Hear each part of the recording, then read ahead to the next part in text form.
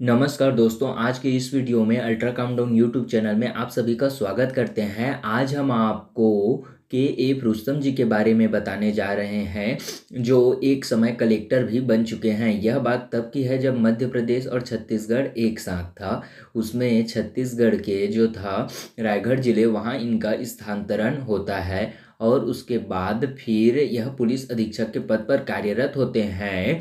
लेकिन जो शासन होता है, वह रायगढ़, सारगढ़, जसपुर, उदयपुर और शक्ति इन पाँचों रियासत को मिलाकर एक जिला बनाने का फैसला लेता है। लेकिन इनके जो जिला कलेक्टर बनाए जाते हैं, उनकी अचानक मृत्यु हो जाती है तो फिर एक पुलिस अधीक्षक को विशेष आदेश के द्वारा कलेक्टर बनाया जाता है। यही वह इतिहास है जो हम आपको आज बताना चाहते थे कि कैसे एक पुलिस अधीक्षक कलेक्टर बना। बाद में इन्हें पद्म विभूषण पुरस्कार से सम्मानित किया गया, इन्हें हमारा सलाम है। अगर आपको यह वीडियो पसंद आया हो तो इस वीडियो को लाइक और हमारे चैनल को सब्सक्राइब करें।